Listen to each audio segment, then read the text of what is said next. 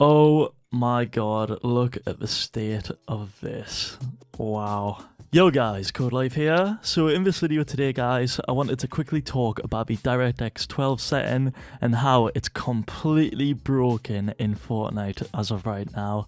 Like as you can see guys on my screen right here, the trees are flickering. Um, some stuff looks like crazy blurry. If you see that tree back there, it looks mad blurry. And overall guys, it's just completely broken but Epic Games are working on a fix um, for it as we speak. However, I do have a temporary fix for this to sort of get rid of all this flickering, this blurring stuff, and everything that's going on. But um, we'll wait for that in just a little second. I just want to explain quickly that um, I know a lot of you guys are turning to the DirectX 12 setting because the performance mode was obviously nerfed. If you guys don't know about that nerf, basically Fortnite took away those bubble wrap builds and instead they added in a very low quality version of the previous mobile builds. The old ones, um, they were decent, they weren't as good as the bubble wrap ones, but um, these new ones are absolutely like atrocious. Like you literally can't even build on them. Some of you may prefer them, and that's absolutely fine. But for the majority of people, you guys will much prefer those uh, bubble wrap build. However, they are no longer in the game. So that's why a lot of you guys have turned back to using the DirectX 12 setting or the DirectX 11 one. Now, as of right now, I don't think there's anything wrong with the DirectX 11 setting, but for the DirectX 12 one, as you guys saw and sort of can still see, like, look at that tree over there, like, what is going on with that? It looks like something got Minecraft.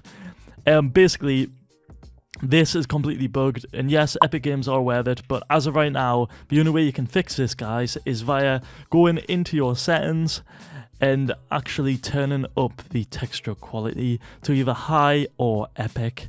Um, if I just click on high right here, you can see guys, it's fixed. There'll be no more flickering going on, but if you are on the low setting, if I go back to it, you'll see guys, it actually, yeah, it's, maybe if you just make the one change, it might fix it. Oh no, yeah, see, see how it's still broken? Like look, Minecraft tree still there, some stuff still flickering here and there a little bit. Like, look at that one over there, man.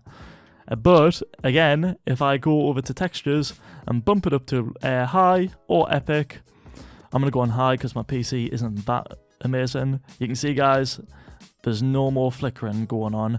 That little flicker there was just everything loading. But yeah, as long as you've got the textures on high, guys, you'll be all good to go. As you can see, everything is loading and looking how it should.